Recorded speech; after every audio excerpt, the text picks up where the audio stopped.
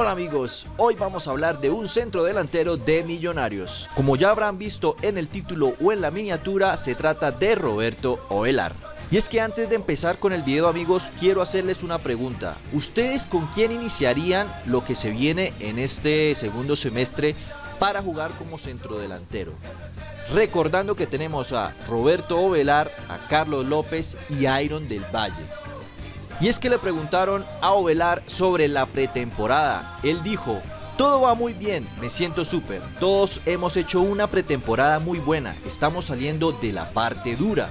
Han empezado los compromisos y eso es lo importante para irnos afianzando en lo que queremos nosotros y el profe, como fue el amistoso el viernes ante un rival de jerarquía a lo que tenemos que acostumbrarnos, a jugar partidos de esos porque, lo, porque tenemos la suramericana y el torneo local que también va a ser muy duro y para eso nos estamos preparando. Pero amigos, yo sí les digo una cosa y creo que a Millonarios le hicieron falta partidos de pretemporada con equipos de jerarquía, como el mismo Velar lo dice. Es que recordemos que Millonarios jugó, creo si no estoy mal, dos, digamos que tres partidos con equipos entre comillas chicos, que son equipos que no se caracterizan por tener grandes jugadores, ni grandes estrellas, ni grandes nóminas, pero nos enfrentamos al River y sí nos dieron, nos pusieron los pies sobre la tierra. Entonces yo sí creo que en esta pretemporada Millonarios le hicieron falta como mínimo dos partidos de jerarquía para que Miguel Ángel Russo viera a la perfección todos los errores que tenía que eh, corregir el equipo, intentarlos corregir eh, y utilizar la nómina correcta para estos primeros encuentros que van a ser claves. Le preguntaron sobre las metas a cumplir. Él dice, este semestre la idea es jugar muchos partidos. La verdad, uno se prepara, se pone objetivos y por el camino suceden muchas cosas. Desafortunadamente, este es un deporte de contacto en lo que pasa cualquier cosa y a veces a uno lo dejan al margen. Pero bueno, siempre la fe y la convicción que las cosas van a salir como uno desee y este semestre quiero hacer un buen papel marcar muchos goles y aportar al equipo. Y es que en cuanto aporte, sabemos que Ovelar no le ha dado mucho al equipo. A pesar de que nos regaló ese bonito título que pudimos conseguir en, en Medellín, ¿vale? Porque es que no era fácil. Era un partido muy complicado, muy difícil. Y Roberto Velar con su magia eh, de ese inicio de, de, temporada nos dio semejante título, ¿no? Que es mucho, ¿no? Es demasiado.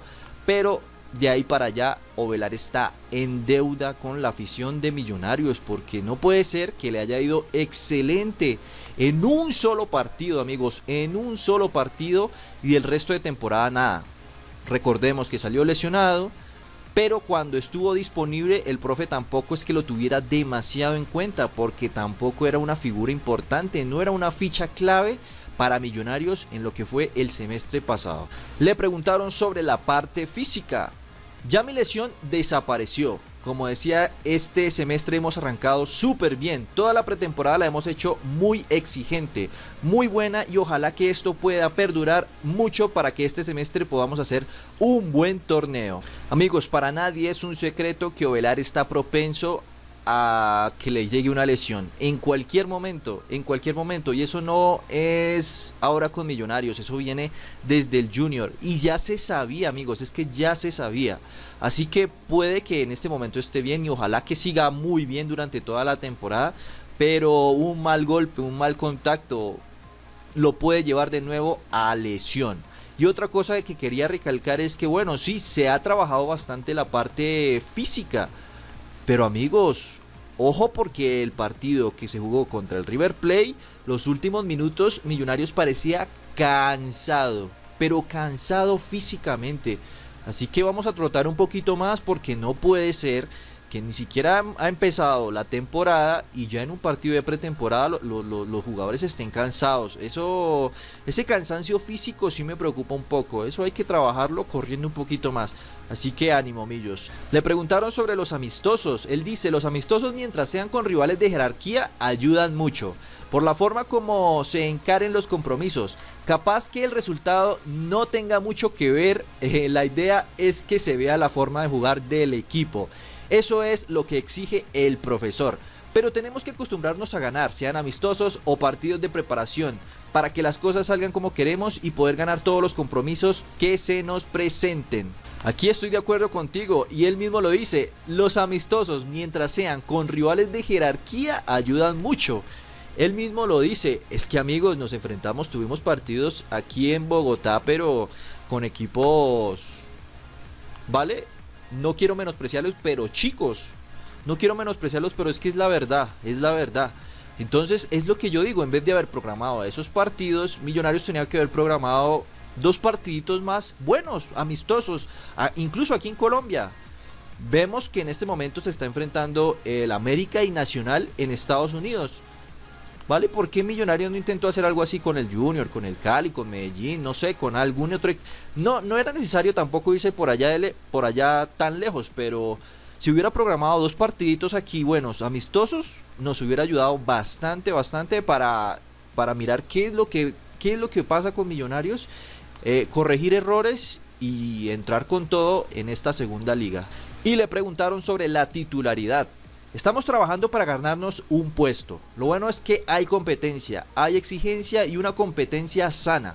Y eso siempre es importante porque todos quieren eh, para bien, lo quieren para el bien del equipo. Además, obviamente todos quieren jugar, pero solo 11 lo pueden hacer. El profe es el que toma la decisión y nosotros lo tenemos que acatar y aportar. Así que aquí es donde viene mi pregunta nuevamente para ustedes. ¿Ustedes a quién pondrían como delantero centro en Millonarios? ¿Ustedes creen que Ovelar está a la altura en este momento para ser delantero centro? ¿Vale? ¿O Carlos López o Iron del Valle? Yo creo que todavía es muy pronto para decirlo, porque no hemos visto prácticamente jugar a Millonarios. Pero con lo que se vio en el partido de pretemporada con el River, mi candidato para que inicie, ¿vale? Jugando ahí en esa posición es Iron del Valle. Que a pesar de que, bueno, no es el gran super delantero, es el que por lo menos ha demostrado que tiene, entre comillas, una continuidad, ¿vale? Sí, eh, hay veces no es que sea el goleador, no es que haga los grandes pases, pero de vez en cuando tiene una genialidad en un partido que nos, que nos ayuda bastante. Entonces para mí ese sería el inicialista, pero quiero que ustedes me dejen eh, sus opiniones, sus comentarios, ya saben, aquí abajo. Y otra pregunta que les quiero hacer, eh, estamos, amigos, estamos a puertas, es que ya va a iniciar lo que es la liga, eh, la liga Águila contra el Chico, ¿vale? ¿Cuáles son sus extremos? También quiero que me dejen en los comentarios cuáles son sus dos extremos. Ya sabemos sí o sí que Millonarios va a jugar con un 4-3-3. Próximamente estaré haciendo un video eh, de toda la alineación con la que Millonarios podría enfrentarse al Boyacá Chico. Pero quiero que ustedes también me dejen en los comentarios sus aportes para, para ese video. ¿Vale? ¿Cuáles serían sus dos extremos? ¿Ustedes creen que Auchi ya está preparado, ya está listo con aproximadamente, ¿qué podemos decir? Tres, cuatro días.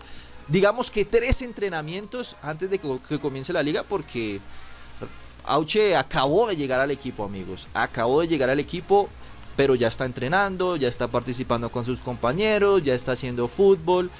No sé con qué nivel llega. Esto sí no lo puedo decir porque no lo he visto jugar. Pero eh, está la incógnita, está la incógnita de quiénes van a ser los extremos para este primer partido. ¿Ya pondrían a Auche? Es mi pregunta. ¿Ya lo pondrían a debutar? Porque personalmente yo diría sí.